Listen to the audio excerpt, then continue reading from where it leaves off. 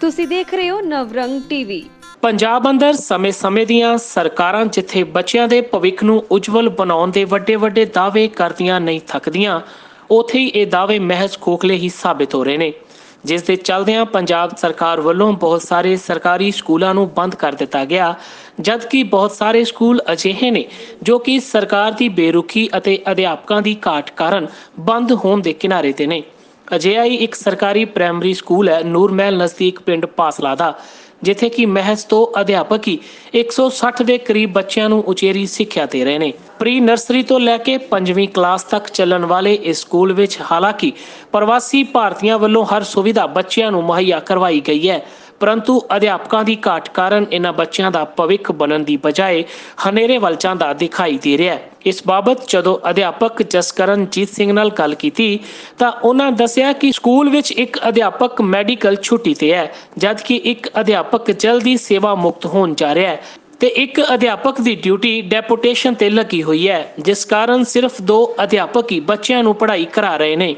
ਸਰਕਾਰੀ primary school Pasla, block ਗ੍ਰਾਇਆ 1 ਜਿੱਥੇ ਕਿ 160 ਬੱਚੇ ਪੜ੍ਹਦੇ ਆ 6 ਕਲਾਸਾਂ ਹਨ। ਸਾਡੇ ਕੋਲ 41 ਬੱਚੇ ਸਿਰਫ ਪ੍ਰੀ ਪ੍ਰਾਇਮਰੀ ਦੇ ਵਿੱਚ ਹੀ ਜਿਹੜੇ ਪੜ੍ਹ ਰਹੇ ਆ।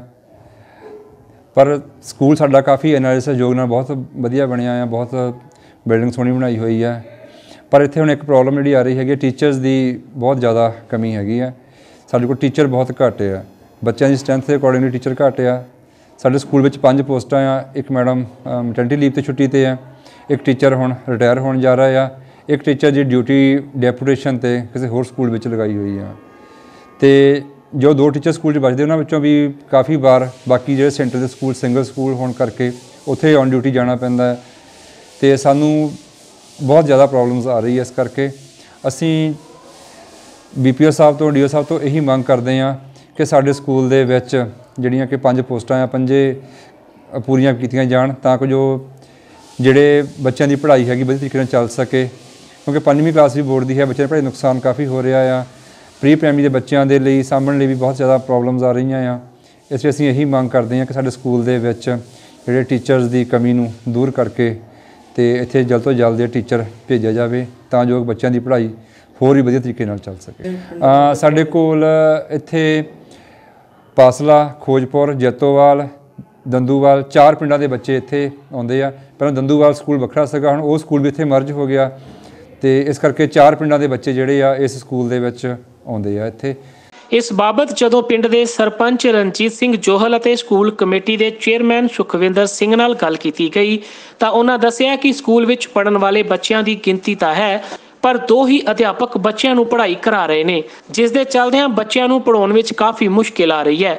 ਉਹਨਾਂ ਸਿੱਖਿਆ ਵਿਭਾਗ ਪਾਸੋਂ ਇਸ ਸਕੂਲ ਵਿੱਚ ਜਲਦੀ ਅਧਿਆਪਕਾਂ ਦੀ ਘਾਟ ਨੂੰ ਪੂਰਾ ਕਰਨ ਦੀ ਮੰਗ ਕੀਤੀ। ਮੈਂ Sukhwinder Singh chairman primary school Pasla BO ਸਾਹਿਬ ਔਰ ਡੀਓ ਸਾਹਿਬ ਜੀ ਨੂੰ ਬੇਨਤੀ ਕਰਦਾ ਹਾਂ ਕਿ ਸਾਡੇ ਪਿੰਡ ਪ੍ਰਾਇਮਰੀ ਸਕੂਲ ਪਾਸਲਾ, ਜਿੱਥੇ 160 ਤੋਂ ਉੱਪਰ ਬੱਚੇ ਪੜ੍ਹਦੇ ਹਨ, ਉਸ ਵਿੱਚ ਟੀਚਰਾਂ ਦੀ ਬਹੁਤ ਘਾਟ ਹੈ।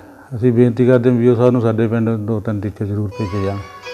ਮੈਂ ਸਰਪੰਚ ਰਣਜੀਤ ਸਿੰਘ ਜੋਲ ਪਿੰਡ ਪਾਸਲਾ।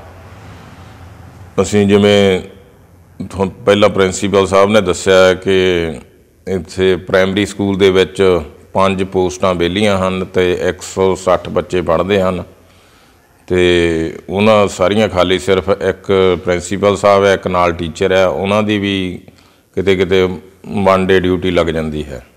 ਅਸੀਂ ਬੀਓ ਸਾਹਿਬ ਨੂੰ ਅਪੀਲ ਕਰਦੇ ਹਾਂ ਕਿ ਸਾਡੀਆਂ ਪੰਜ ਦੀਆਂ ਪੰਜੇ ਪੋਸਟਾਂ ਪੂਰੀਆਂ ਕੀਤੀਆਂ ਜਾਣ, ਟੀਚਰ ਬੁਲਾ ਕੇ ਪੋਸਟਾਂ ਪੰਜੇ ਪੂਰੀਆਂ ਕੀਤੀਆਂ ਜਾਣ।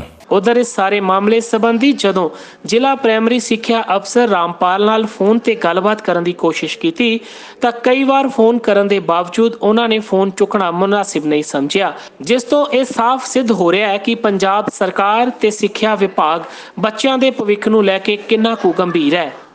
ਨਵੀਆਂ ਅਤੇ ਤਾਜ਼ਾ ਤਰੀਨ ਖਬਰਾਂ ਸਭ ਤੋਂ ਪਹਿਲਾਂ ਦੇਖਣ ਲਈ ਸਾਡਾ YouTube ਚੈਨਲ ਲਾਈਕ ਕਰੋ ਅਤੇ ਸਬਸਕ੍ਰਾਈਬ ਕਰਨਾ ਨਾ ਭੁੱਲਣਾ ਅਤੇ ਨਾਲ ਹੀ ਦਬਾਓ ਘੰਟੀ ਦਾ ਬਟਨ।